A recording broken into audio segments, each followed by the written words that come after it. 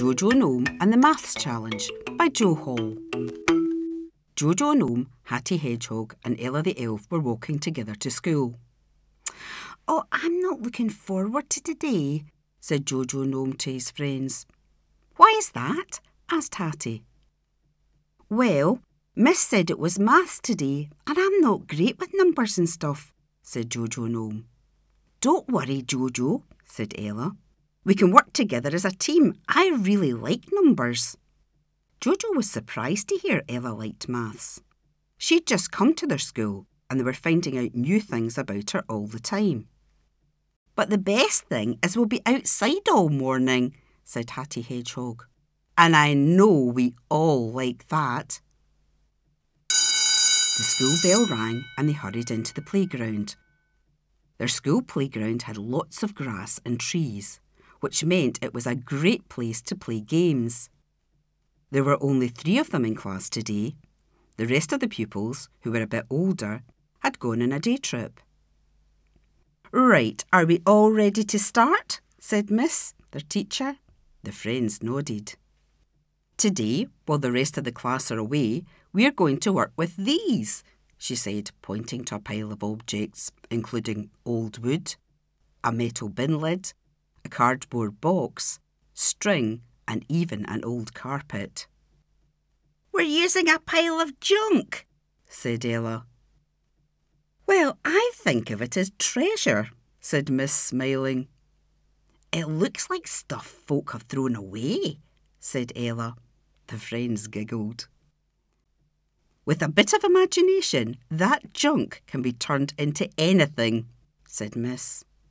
Right, your first task is to sort out all the bits and see how many pieces of treasure we have, said the teacher. So the three friends laid out all the objects on the grass. How many bits are there? asked the teacher. Hatty Hedgehog counted them. One, two, three, four, five, six, seven, eight, nine, ten, eleven, twelve, thirteen, fourteen, fifteen, sixteen, seventeen, eighteen, nineteen. There are nineteen bits, miss, said Hattie. OK, today each of you will be given a challenge.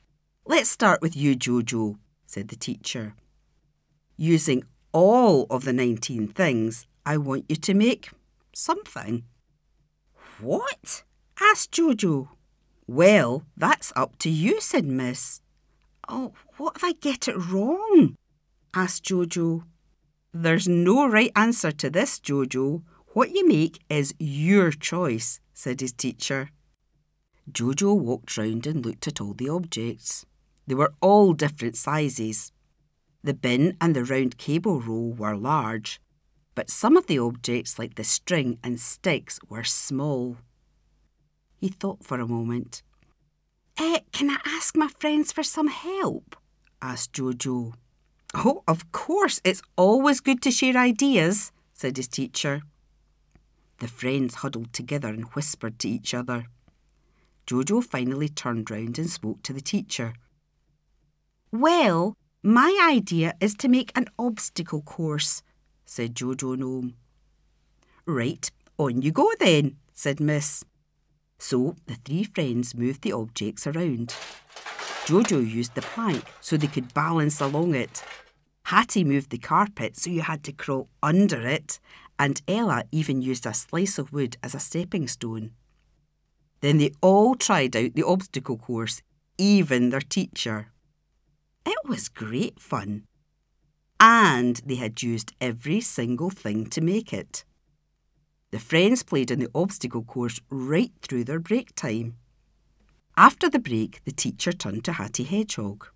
Right, Hatty, I want you to take all the objects and put them into piles. Each pile should be a different shape. Get the others to help you, she said. The friends looked at everything and talked for a bit, then sorted out the objects. It was quite a challenge. There were five piles when they'd finished. We have a square pile, a pile for circles, a pile of rectangles, a triangle pile and another pile with all the things that don't fit anywhere else, said Hattie. The teacher smiled. Well done. Now choose one shape and make something out of that pile of treasure. Hattie chose the pile of circles. There were eight objects that were circles, and she made a car from them. Jump Jumping board and we'll go for a drive, said Hattie. And she and her pals set off on their imaginary journey. They went through the town and past the forest on their adventure. When they were hungry, they parked the car and stopped for something to eat. After lunch, the teacher looked at Ella, who was very excited waiting for her turn. Right, Ella, I want you to make something out of some of the objects that will make a noise or be musical, said Miss. Hattie Hedgehog looked worried. What's wrong, Hattie? asked the teacher. Well, I don't think that's very fair for Ella, miss. She's deaf and it might be really difficult for her. Don't worry about me, Hattie, said Ella. This is the best challenge for me. The cochlear implants I wear mean that I can still hear most sounds and I love music. Really? asked Hattie. Yes, said Ella, but thanks for looking out for me. Oh, she plays the drums too, said Jojo Gnome, grinning. Ella looked round at the piles of things and smiled. I see something that will make a great drum, she said. So Ella made her drum from an old dustbin and a cymbal from the dustbin lid. She made other instruments too. With the help of the teacher and Jojo Gnome, Ella put different sized bits of wood together so that when you hung them up and hit them, they made different sounds. Ella also wound string tightly round a cardboard box so it could be played like a guitar. It made a very strange sound. Then Ella had everyone play all together to make a tune. It was noisy and fun.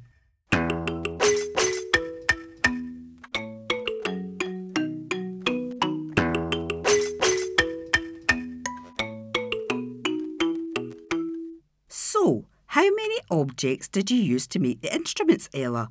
asked the teacher. Ella counted them.